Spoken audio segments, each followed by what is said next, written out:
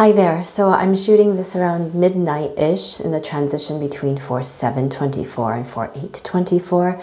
And I'm shooting this as soon as I could get to a semi-private place after being in a wonderful time with fellow intercessors and seeking the Lord about what his heart is to say to his ecclesia, the church. For the solar eclipse is a message to the nation.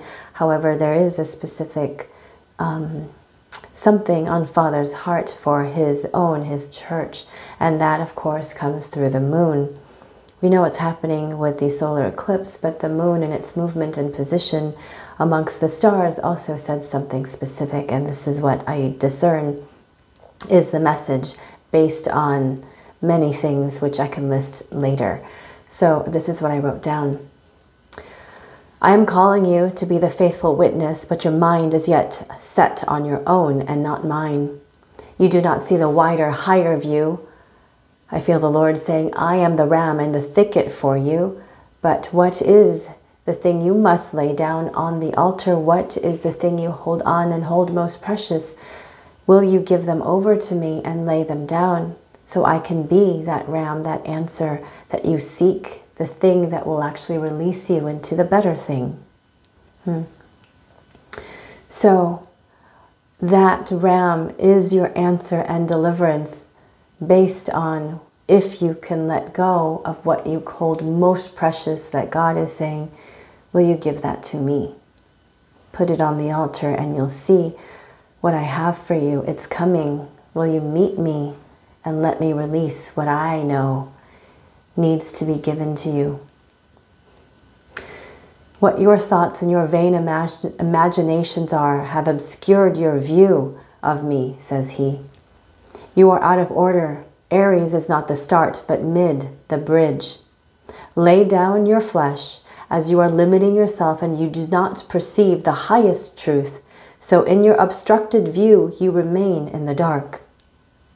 Your thoughts are contrary to me, and you do not even realize. Examine, let me in, Father speaks.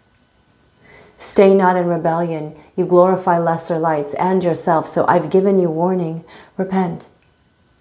What will you do if I remain away? You are staying in the dark, proud, rebellious. Fear the Lord is the message. Fear the Lord. Now, again, this is coming around the midnight hour after hours of intercession in a company of believers seeking with all their heart the heart of Father God for Christ to be seen, for his name to be raised, for the Holy Spirit to speak all truth. This is the message. Primarily, what are you to lay down? What is your Isaac to lay down on the altar? For God wants to be the ram in the thicket. This is what the moon's positioning as the moon has moved into the constellation of Aries on 4-7, the beginning of the night into the day where the solar eclipse, the second sign in the heavens, to wake up North America, to say so much. The warnings have come, the urgings and invitation are growing more fervent because there are many, many things he wants his own to prepare for. And he's still calling people to become his own so that he could be the father he has always longed to be for the many who have not received that sonship privilege, daughtership privilege. So, this is what I feel the Spirit is leading me to share based on the facts. And the facts are the moon has moved into the constellation of Aries. There is, it's a very sparse constellation. It has one very bright star called Hamal. In Arabic, that means lamb. In other interpretations, it means sheep. Hamal is 66 light years away from the earth. In our firmament, what we see is Hamal and what that says.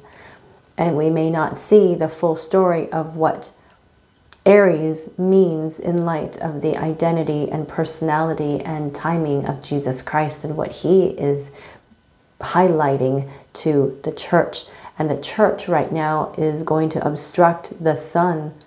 The sun in its hyperactivity right now will most likely have a very vibrant corona, a ring, a crown around the moon to still highlight there is a greater light?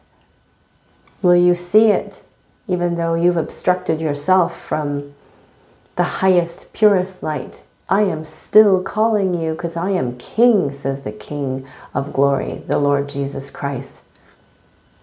So, this is a, a basic synopsis. He is calling his children who identify as his to be a faithful witness for the moon is at 2% illumination in the little light of truth you have you still have enough to make a choice to make Jesus Christ the King, to come before Father God in all humility, to fear Him with awe and reverence, and know that the heavenlies are speaking and it's a grand gesture of love.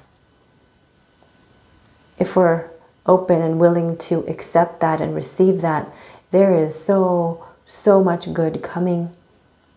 It's all in our choice. But to identify where your heart is, what are you willing to surrender? Will you surrender all for the sweetness that I am to bring? For I have shored up many things. I have things coming for you. But if you're not ready to receive because you haven't emptied out and just identified with Jesus Christ and his priority, you're going to miss out. Father God is so good. He only wants the best, but he leaves it to your own choice and your own discretion, your own will to open up to Him. So, this is the message from the sun, moon, and stars, because Genesis 1 14 and 15 identifies them as the primary way the heavens speak of Father God, Creator Elohim, Adonai, everlasting's messaging from His purest lights. The Bible and the stars, He's trying to reach your heart through them. Forgive my unconventional, not so lovely place to shoot a message, but this is kind of on the fly and literally um, the best I can do at this time. So I just pray you hear Father's heart uh, and not see all these things, but hear with your heart, because that is wisdom. So bless you in the name of Jesus Christ, my King. I'm Jane Justice Park, and I pray that you receive what you need to from this release. Have a wonderful, wonderful new year. This is the beginning, the first day of the Hebraic New Year. This is timely. This is a message of the heavens that speak of God's glory. It falls on a significant date in the prophetic biblical new year. So take heed.